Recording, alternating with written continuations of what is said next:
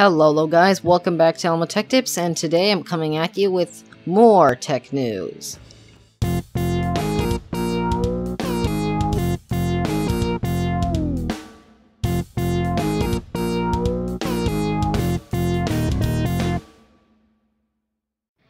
Okay, so here's today's news.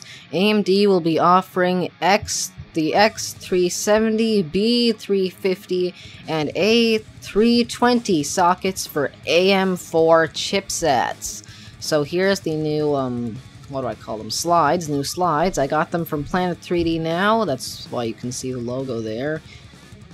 And just, here's the features. I don't know what, to, I don't have really anything to say about this. I just gotta show you guys the news. So go ahead and pause the video and read it yourself.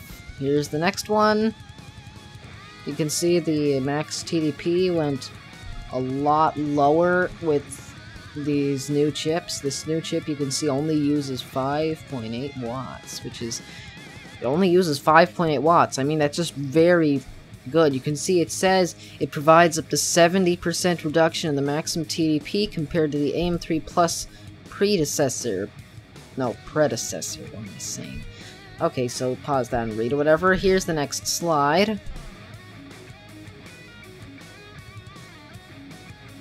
I'm actually really excited about this because I have been waiting for a new CPU lineup by AMD, actually, because I like AMD. Their stuff is pretty cheap.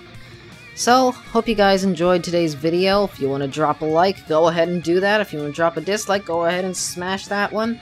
Otherwise, smack that subscribe button. Make sure you post a comment down below. And I'll see you guys in the next video. Hopefully, not tech news.